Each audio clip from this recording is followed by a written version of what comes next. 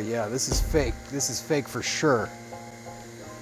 No way. Jackson Safety N95 mask, NIOSH approved 50 pack. Dear Lloyd, I don't think you have tested these yet. Question mark. I love your testing videos on YouTube. Thanks, Shanda. Appreciate that. Man, this seems fake.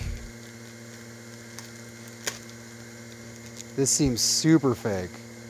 Jackson, a Surewerx brand, N95 pouch style. Pouch style. Hmm. We call it the duckbill.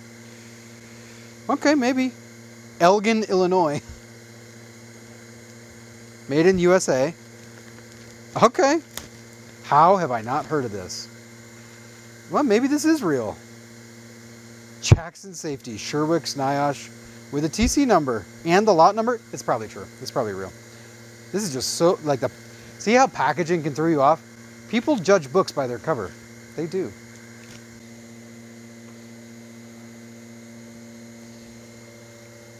And let her rip. This is a PFE machine, particulate filtration efficiency machine. We are doing the N95 test on this Jackson Safety N95. So these masks are a little weird. They throw you off because you open them up and you see like this strap in the back. And you're like, hey, how does this work? And you're like, it only has one strap. Ah, that's what I did. and then you look at it and you're like, but wait a second. Ooh, two straps. These are very affordable. I shouldn't say cheap. Affordable to produce. Goes over the head very gracefully. The front.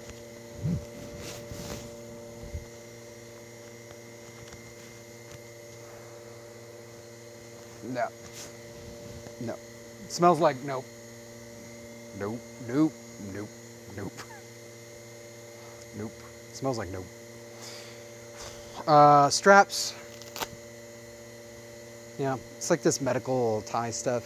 Very affordable though. Um, you know makes a really great version that's very close to this, but I think is a lot better, is ACI. Uh, ACI makes a really good one.